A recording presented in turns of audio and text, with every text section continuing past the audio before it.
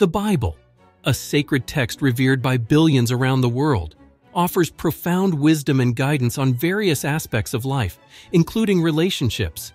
Throughout its pages, there are verses that speak to the importance of love, communication, forgiveness, and commitment in relationships.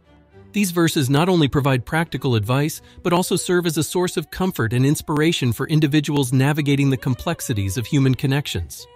Whether it's friendships, marriages, or familial bonds, the Bible offers timeless principles that can help cultivate healthy and fulfilling relationships.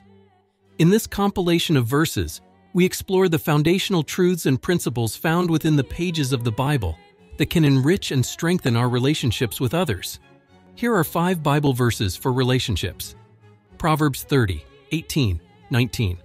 There are three things that amaze me. No, four things that I don't understand. How an eagle glides through the sky, how a snake slithers on a rock, how a ship navigates the ocean, how a man loves a woman. Song of Solomon 4, 9. You have captivated my heart, my sister, my bride. You have captivated my heart with one glance of your eyes, with one jewel of your necklace. Proverbs 10:12. Hatred stirs up conflict, but love covers over all wrongs. Romans 12:9. Love must be sincere, hate what is evil, cling to what is good. Colossians 3:14. And over all these virtues put on love, which binds them all together in perfect unity. God bless you. Thanks for watching.